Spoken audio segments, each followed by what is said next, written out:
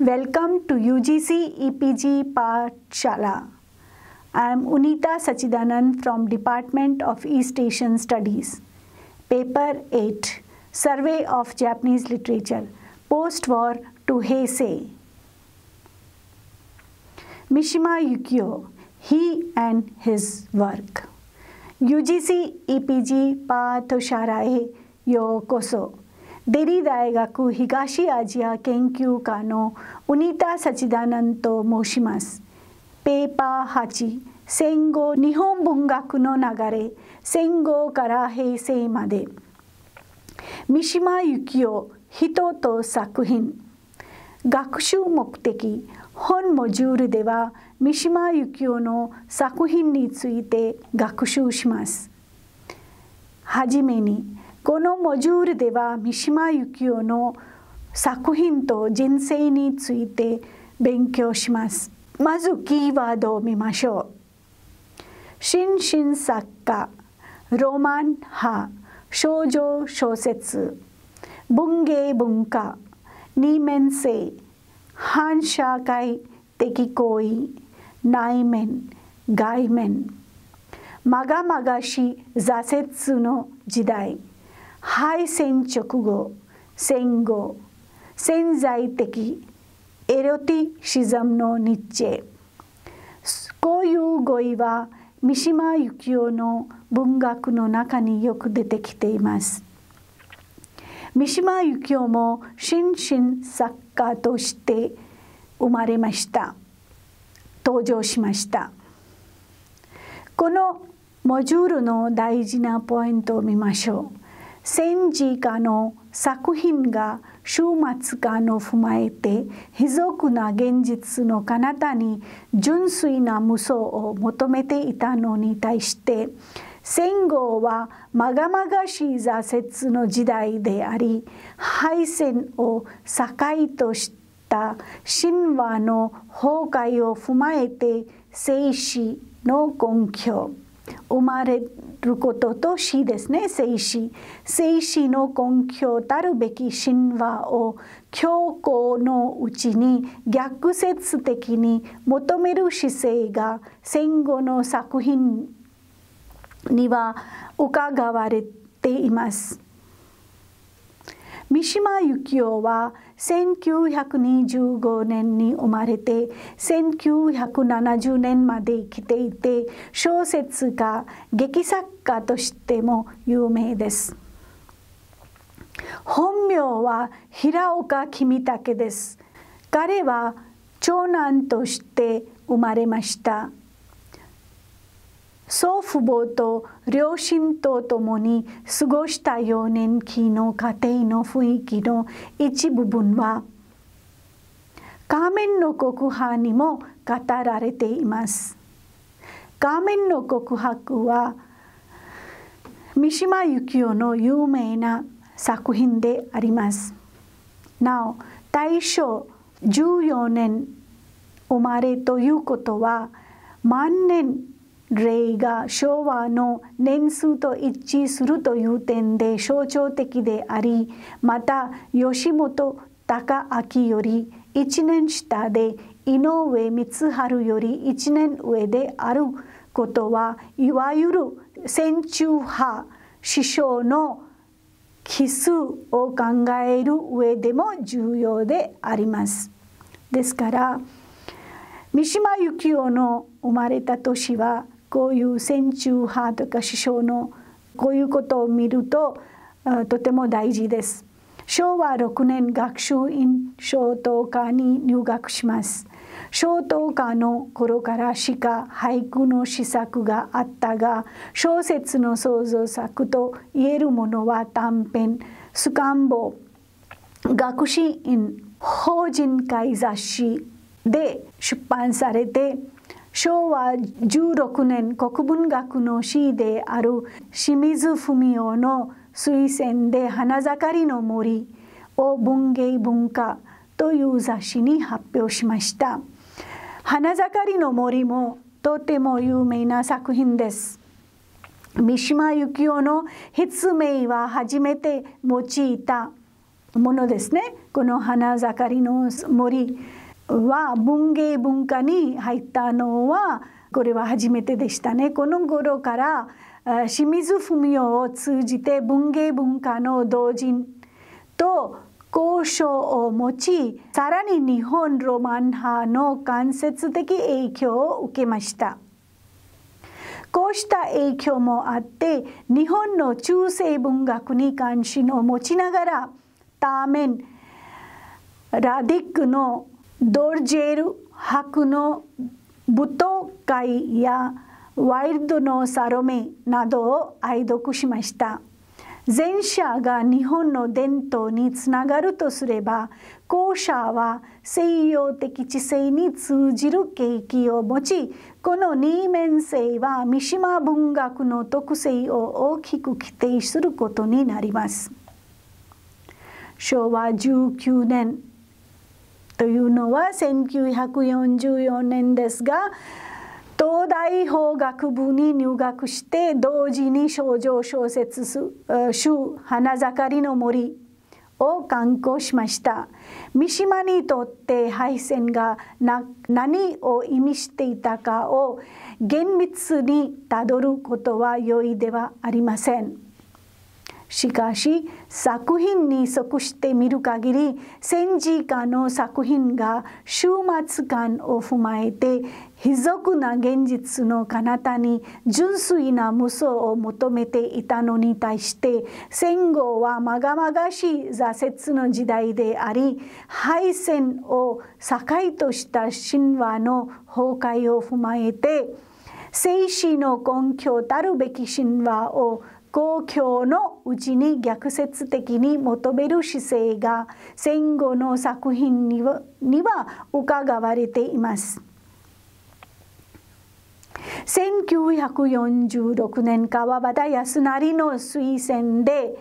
タバコを人間という雑誌に発表して分断に登場しました。が失恋と上司を描いている点はニヒリズムと死の主題をうかがわせるに十分であります。学生作家として悪や死の好奇を持った作品を好んで書いた当時の三島は前向きの社会建設に同調できなかった特権大会入りの青年やニヒリズムを心に持っていた同時代の青年層に潜在的な支持者を獲得しつつありました。1947年東大法学部を卒業して12月高等文官試験に合格しまして大蔵省に就職しましたが23年9月に退職して作家生活に入りました。24年7月仮面の告白川出消防から刊行されました。新新作家としての地位を確立しました。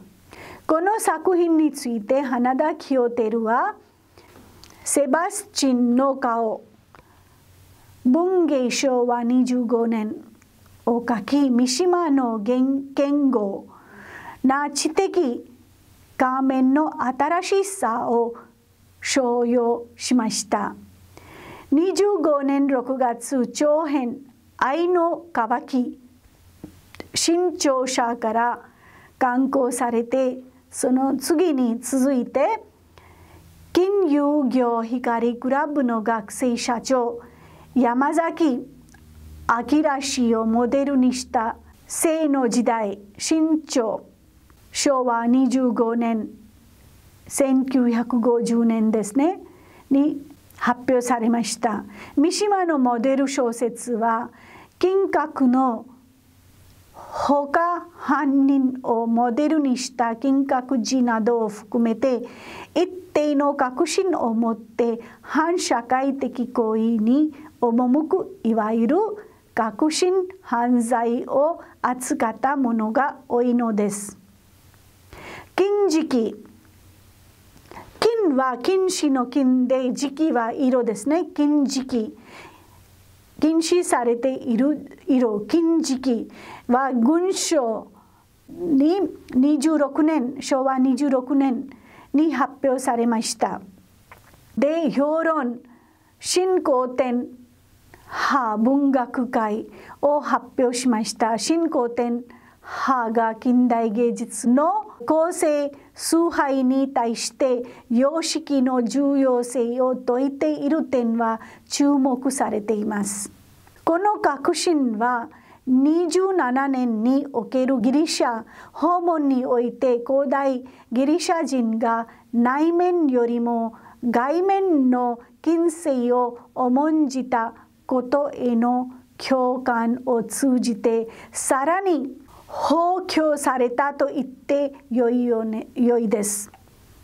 すなわち芸術的には様式美の重視生活的にギリシャ的健康への稀な希望が生まれたわけで後にボティビールを行う伏線はこの辺にあると考えられます。この時期は三島の作品歴のうちでは後天主義の色彩の強い時期で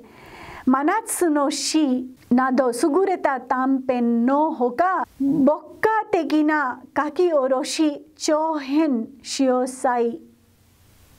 昭和29年に出版されこの時期の頂点に位するのが金閣寺新潮に昭和31年に出版されましたなお戯曲の名作と言われる六名館文学会昭和32年東京総原社の発表されたのは銀閣寺完成の1年の12月であります。33年杉山根の長女陽子。と結婚して機関誌声の創刊に際して編集同人となり9月同士に教皇の家の第一認証の認証のみを発表して34年9月に2冊として新潮社から同時刊行しました。この作品は戦後というニヒリスティックな時代そのものを教皇という女性の家に出入りする人々を通じて描いていて戦後への晩歌という面を持った作品であります。36年1月夕刻小説中央公論社昭和36年新潮社観光のスター収録を発表してこれが1960年代の歩みの単章としての意味を持ちます。この作品は2.26事件の精神史的意味に触発されつつも他方エロティシズムのニッチというべきジョージ・バタイウの影響もあり政治的殉教がエロスの燃焼としての至福に至るという情念の構図を描いています。ここにおいて日本的エロティシズムを媒介とした詩の美学が表面化されています。後に英霊の声文芸川で川で消防新社に出版されたが天皇を死の根拠とした英霊という教皇を借りて戦後の人間天皇制を批判する軸となって提出されました。他にこういう傾向とは異なる作品として絹と名察群像に出版されて戯曲茶道公爵婦人文芸に出版されて三島文学を解く最も重要な鍵を提出しているものの一つは太陽と鉄費用であります。ここには二組の花を作る分と花と散ることを目指すたけしとの統合を目指す文両道が単なる主義としてではなく精神の新聞から問われています。北条の海の第一部は春の雪であり昭和40年に新潮社に連載されていましたが作家生活とは地元の異なる実践としては42年に久留米陸上自衛隊士官北条生学校富士学校奈良市の空挺隊に体験入隊しました。この州の体験入隊は43年2月と7月にも行われました体験入隊に同行した学生を中心に43年9月縦の会を結成しました。なお天皇制と軍隊の在り方についての理論は文化防衛論中央公論昭和14年新潮社に出版されてですから天皇制と軍隊のこういう理論は文化防衛論に述べられています。昭和45年5月東大全教とと討論11月から東京池袋の東武百貨店で三島由紀夫展を開催。同25日午前北条の海最終回の原稿を新潮社に渡した後縦の会の学生森田。その以外の3名とともに自衛隊市ヶ谷駐屯地に至り自衛隊の決起を促したが果たさずに東部方面総監室で下腹自決を遂げました。なおこの自決事件については少々いろんな意見があり1は有国の市場による監視と見るもの。2右翼的事件として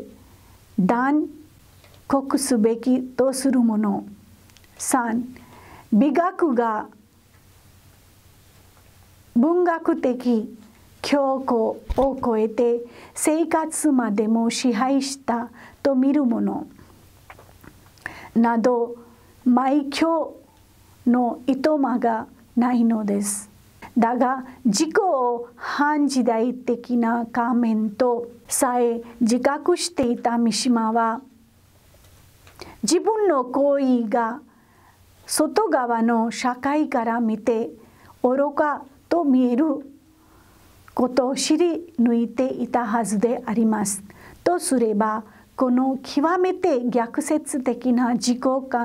完結の行為のうちに精神の自立性の証明と風化した戦後社会への批判の契機を読み取ることは可能であると思われます。結論